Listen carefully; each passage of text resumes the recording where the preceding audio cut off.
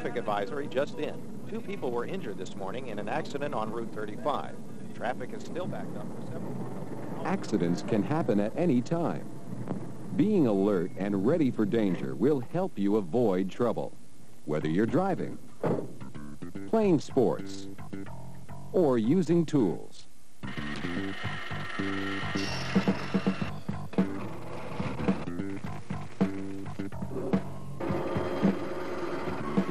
Tools increase your ability to build, fix, and create. Working with them can be fun, but tools can also cause injury. They'll cut whatever's in front of them, a brick or a finger. So how do you avoid getting hurt?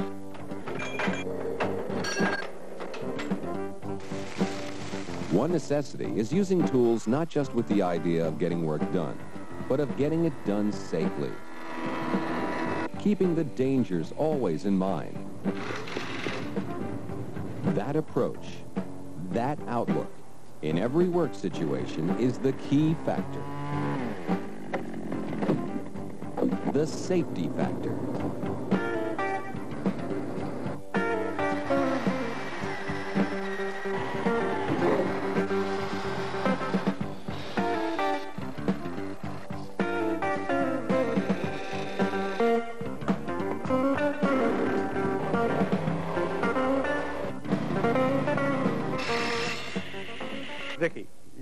Make a cut on a bandsaw? Protecting yourself starts with learning about the equipment, how it works, Listen to the tone of the bandsaw. That's very important, too. All right? Now, special dangers it might hold, and ways to guard against them. keep your hands away from the blade and let the stock go. Don't hold on to the stock. Very Detailed information will vary from one tool to the next. Get checked out before using any tool. Listen to all instructions, even if you've used the tool before. Your three fingers will be wrapped securely around the handle. Thumb and finger will be on the heel of the knife. Do not put your finger on top of the blade. You will cut yourself. Now, the boning knife is a different knife altogether. You can't grab it like a French knife. You'll cut your fingers off. This here's your kill switch. Getting and following instructions. to prime the Important with any tool. Crucial with power sure tools. Grip the saw properly with both hands at all times and make sure you wrap your thumb around the bar, not on top, so that if you have a kickback, you can control it, so that your hand can't slip out. Okay. All right? Any other questions? No. All right. Why don't we try it now?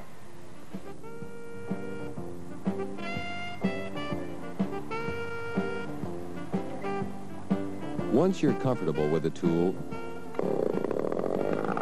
don't let overconfidence cause you to lose your respect for what that tool can do to you. A healthy fear that you should never lose. Make sure you get permission to use a tool and that you have adequate elbow room to do the job. Can I begin now? Don't crowd someone who's using a power tool. Stay clear. If you carry something long, plan your route and get help even if it's light. So you won't swing it into someone, maybe someone using a power tool. Inspect tools before use. Make sure the guides are tight and the guards are in place. Every machine has exact procedures for startup, operation, and shutdown. If you aren't sure what they are, find out. This is not the place for trial and error. Inspection includes the electric cord. Check the wire for nicks, cuts, cracks, or burn marks. Damaged tools should be replaced or repaired, not put back for someone else to use. Heating tools should be placed where no one's likely to touch the wrong end.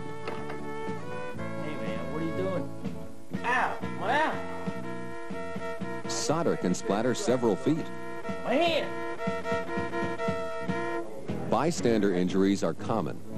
Whenever you're around potentially dangerous activities, wear eye protection. How you making out over here? Many people have been blinded with their safety glasses in their pockets or perched on top of their heads. Jody, what are you doing here? Think about the safety of others. If someone near you is unprotected, don't start work. Just hold steady. All right, great. Now you see what's happening? Schools, employers, and governments set standards for protective equipment. But it's up to you to put the equipment on. There won't always be a teacher or a foreman there insisting on it. Much of the time, you'll be making the decision on your own. Sometimes, the decision to use safety gear will be easy. You couldn't do this without protection. Other times, the danger is not so obvious. Many people don't wear eye protection when nailing, but that doesn't mean it's safe. Nails not hit squarely do fly, and occasionally their points do stick into an eyeball. How much risk are you ready to take? Losing an eye? Protective equipment varies. Use the best and most appropriate you can get. The safety gear that matches the particular work you're doing.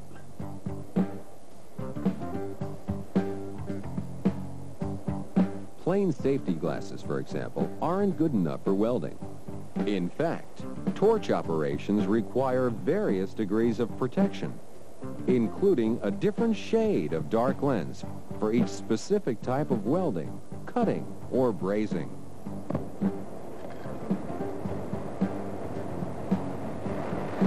To be effective, safety equipment must fit. Make sure it does, and inspect it for possible defects. Eye protection is important when using any striking tool. Never hit hardened steel tools together. That'll send sharp pieces of metal flying like shrapnel.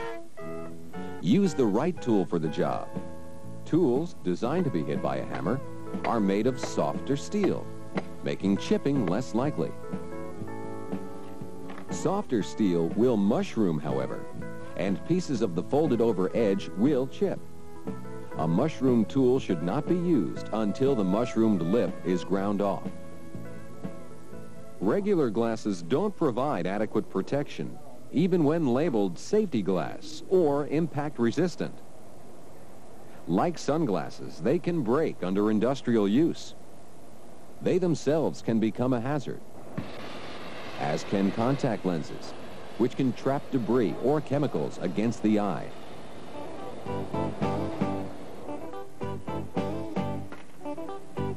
Chemicals can be kept out by goggles with splash-proof vents. Know what it is you're dealing with before you use a chemical. Find out the dangers involved. What protection is necessary. And what to do if something goes wrong. Extra protection is always possible. A face shield over the goggles would also protect your face from acid splash. You can't assume what you see is safe, just because it seems to be standard practice. Acid in car batteries can spill, splash, or explode, and has blinded many people. Whether cleaning a battery, charging it, or jumping with cables, wherever there are caustic chemicals, protect your eyesight. Make sure you have good even light and can see clearly through your safety eyewear. Scratched and pitted eyewear not only reduces vision, but also loses impact resistance. Safety glasses under a face shield protect the eyes from particles that can fly up under the shield. A face shield alone does not assure you of eye protection. Worn with safety glasses, the two give protection you can't get from either one alone. Safety glasses, welding helmets, and protective clothing must be worn for any electric source welding, such as arc, MIG, or TIG welding. They give off ultraviolet radiation that can burn exposed skin or cause painful and permanent eye damage. This radiation can reflect off objects and burn your eyes, even at a distance or at an angle. Welding has other hazards, including fumes, electric shock, and burns from work tables and other heated objects. Metal being cut, drilled, or shaped in any way can become hot enough to burn you also, as can the chips and shavings it throws off. If metal gets hot in a machine, never use a rag to hold it. It could get tangled and draw you in. When reaching for a hot tool, look for it first. Even small burns can make you jump and cause additional injuries.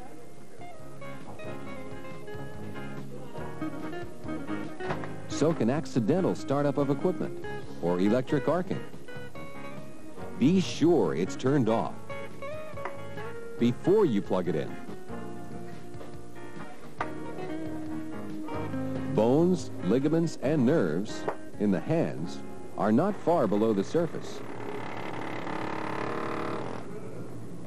Severed ligaments and nerves cannot be repaired to work just like new.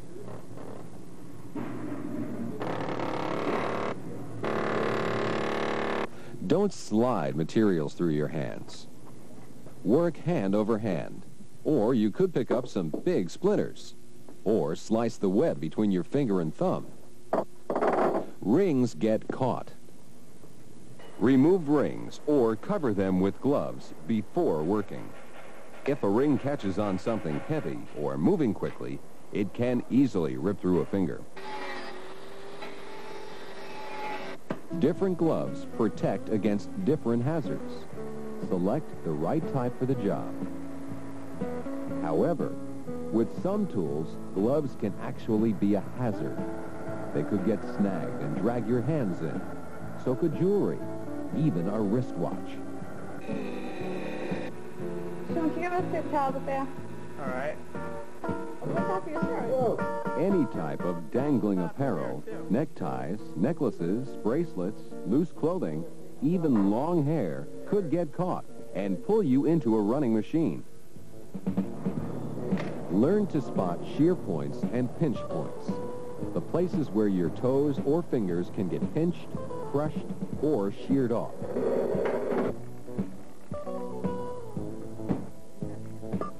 Shoes and boots offer protection you don't get from sneakers.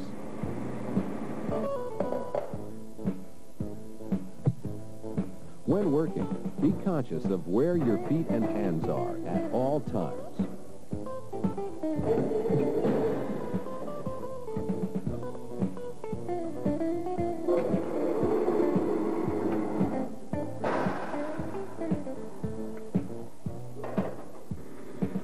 Your ears, too. If you can't eliminate or muffle a noise, or get away from it, and it's so loud that you can't hear someone right next to you, you need protection. The louder the noise, and the longer the exposure, the greater the danger.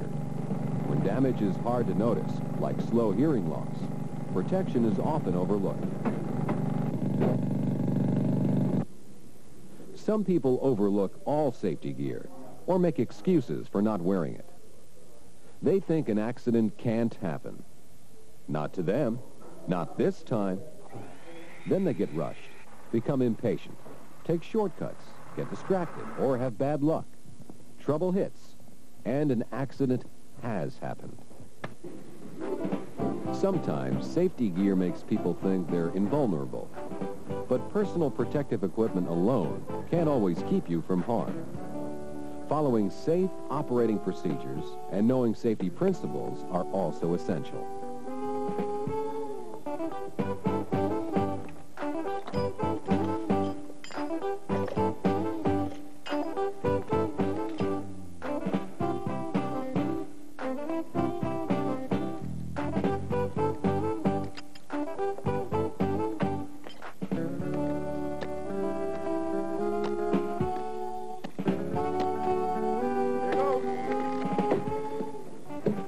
One safety principle, concentrate on the job at hand. Block out distractions and keep your mind on whatever you're doing. In any field, top people learn to concentrate before they became top people. It doesn't always come easily at first, but it's a talent that can be developed, along with other safe work habits. Feed it in butt end first. Turn yourself to the side. Don't look into the chipper. Keep moving, then circle around for your next piece. Another principle, stay out of the line of fire. That can be as simple as standing back or upwind, or keeping your head to the side of a hazard. Getting out of the line of fire involves working tools away from your body, not toward it. Think ahead. What would happen if this chisel slipped? Or this knife? What if this nut did break loose? Make sure others are out of the line of your fire, too. Safety is a team effort. If you see someone unprotected or in danger, help them out and encourage them to do the same for you.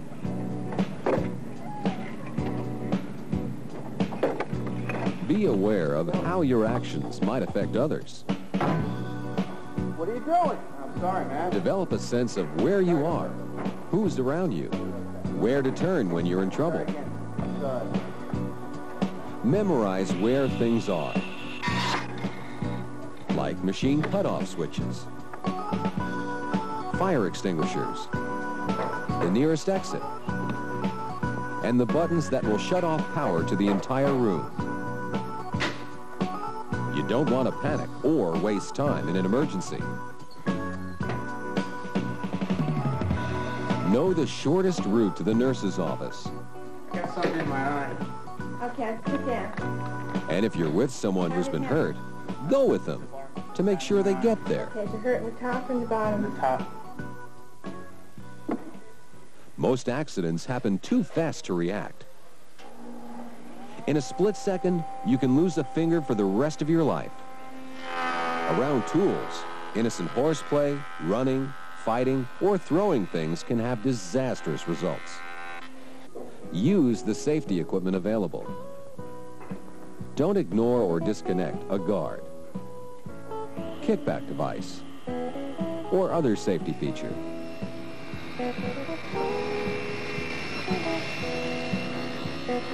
Use a push stick to keep your hand away from the blade. Be alert. Ask yourself, does the machine sound and look right? Am I forcing my work or pushing myself too hard?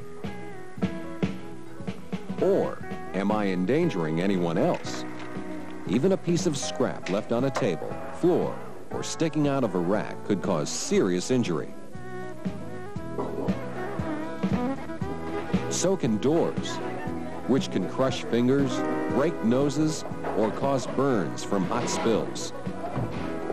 Doors and ladders are another danger. You wouldn't want to do this without being sure the door is locked or having someone guard it. No, no, no. Wait a minute. There's the other door over there.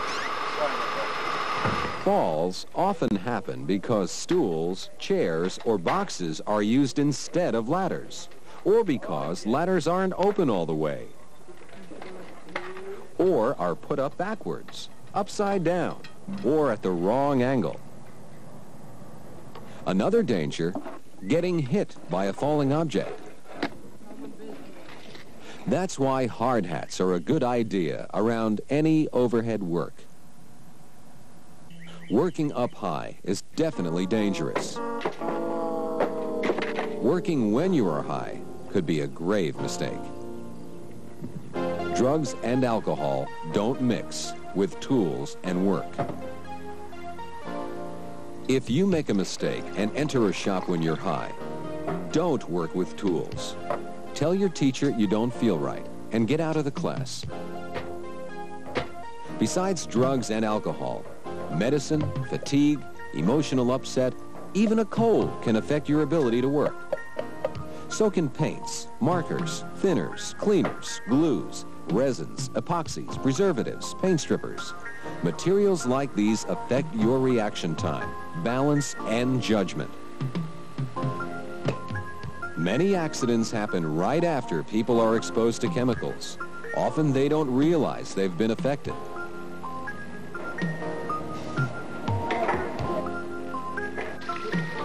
Toxic chemicals can be brought to your mouth by unwashed hands. Some will harm your skin or be absorbed right through it.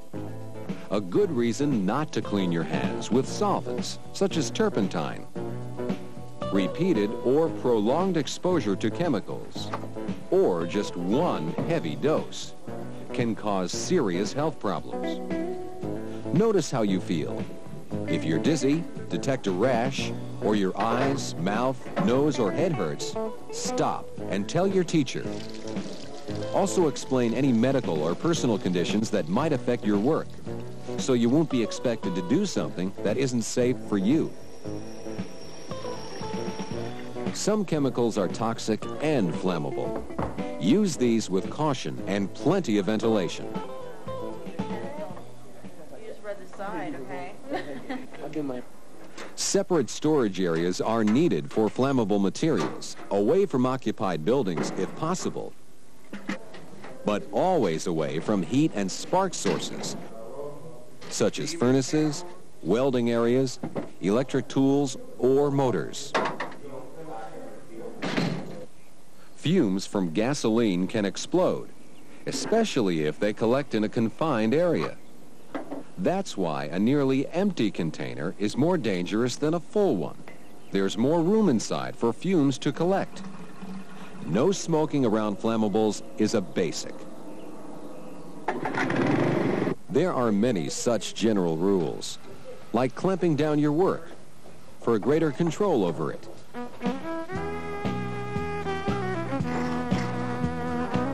Keeping exits, traffic areas, and aisles clear.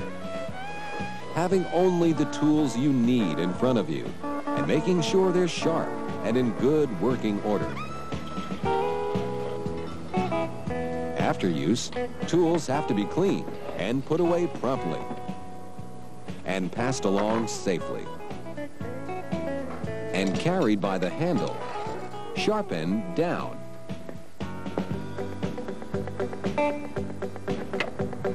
One place not to put tools is in your pocket.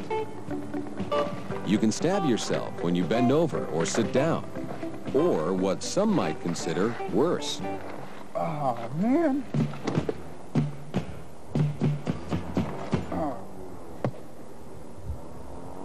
A major cause of accidents is a messy workplace.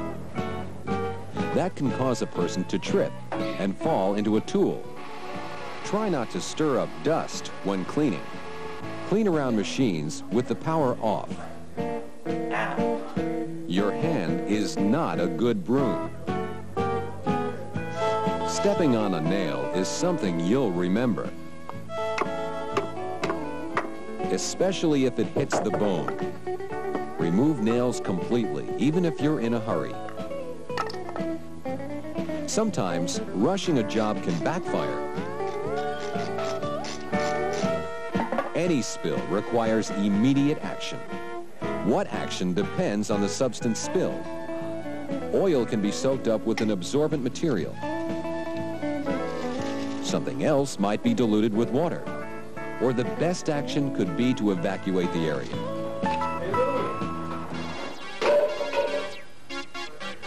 Wet floors are a double hazard. Slipping and electrocution. Electric current wants to go into the ground.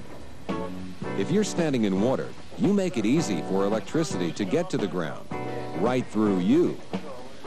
Water around electricity spells danger. Any moisture, even dew or perspiration, can help cause electric shock. Modern outlets have a round hole with a ground wire connected to it that can prevent short circuits from grounding through you. Shorts can cause blinding sparks. A good reason to wear eye protection when working with live wiring. Also, test to be sure the ground is connected. Some tools are designed without a ground plug. But if the ground plug on a cord is broken or cut off, don't use it. until it's been rewired correctly with a new plug. A special breaker, often installed in wet areas, reduces your chance of electrocution. If any electricity starts to leak through a person, a ground fault circuit interrupter instantly shuts off power. But normal safety precautions still should be taken in any situation, for safety devices don't always work. Use a heavy gauge extension cord for power tools and inspect it along its entire length before you connect it to power. If a wire or plug becomes hot in use, you've got trouble. If you feel minor shocks or a tingle, that could be death at your fingertips. Electricity is trying to go through you. Don't dust yourself off or play with compressed air. You can damage an eye, blow out an eardrum, or force a tiny air bubble through your skin and into your bloodstream that will travel to your brain and instantly kill you.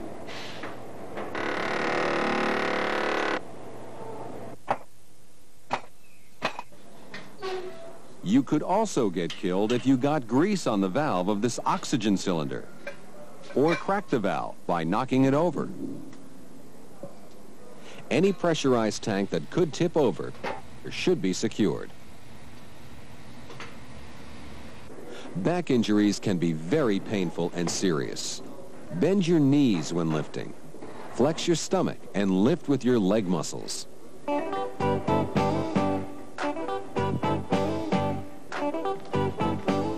Lift steadily. Don't jerk or twist your spine. You can injure your back, even lifting light objects. Cooperation, planning, and timing are vital when lifting with others. Get help for heavy or awkward objects. Keep good posture throughout the lift. And watch your fingers and toes for pinch points. That was heavy.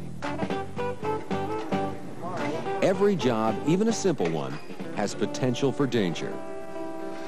A lot of people get hurt jacking cars.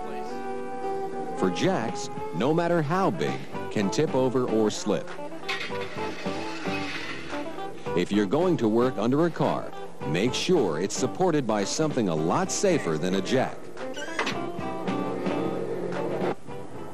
Learn the specific safety considerations for the particular type of work you're doing, such as getting rid of poisonous exhaust fumes or protecting against toxic dust from asbestos brake linings. Special equipment helps minimize exposure. It's designed to keep brake dust out of the air and away from the worker. Don't work in a cloud of any type of dust, smoke, fumes, or vapors, even when wearing a mask or respirator. Such gear often won't protect you. It may be the wrong type of filter. You may be wearing it wrong, or it may not fit against your face. Using respirators correctly requires training. Even when working properly, they don't remove all pollutants. Use them as backup protection. Ventilation that brings you fresh air and draws pollutants away from you is your primary protection. Outside, make sure an airborne hazard doesn't blow back at you. Often, it's possible to increase safety by changing the way you do a job or where you do it.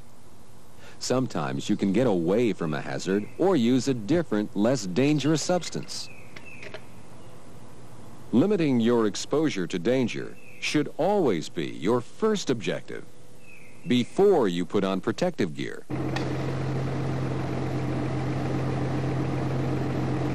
Whenever you approach a job, learn to take advantage of the safety factor.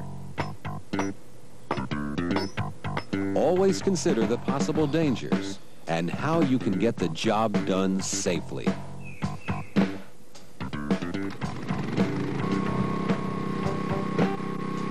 Safety is a developing science.